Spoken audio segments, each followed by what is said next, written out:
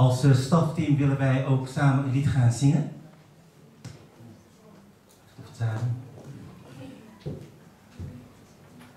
Sebagai staff team kita ingin menyanyikan sebuah lagu. En het lied is een heel bekend lied. Lagunya sungguh terkenal. En het lied dat zegt wij zijn hier bijeen in Jezus naam. Lagunya katakan kita semua berkumpul di sini di dalam nama Yesus. Om u te loven en te eren, o Heer. Untuk memuji dan menyembahmu Tuhan. En dan zeg ik ook regelmatig tegen mijn eigen vrouw. Dan saya juga lihat uh, sering kali pada diri istri dat saya. broeder Victor zegt. Seperti apa yang Pak Victor katakan. Wat je ook doet, doet het voor de Heer. Apa yang kita lakukan, mari kita lakukan Tuhan. 3 vers 23 zegt. Uh, Mazmur. Colossensen 3 vers 23 zegt. Kolose 3. 3 ayat 23 katakan. Wat gij ook doet, Apa pun yang kau verricht lakukan, uw werk van harte.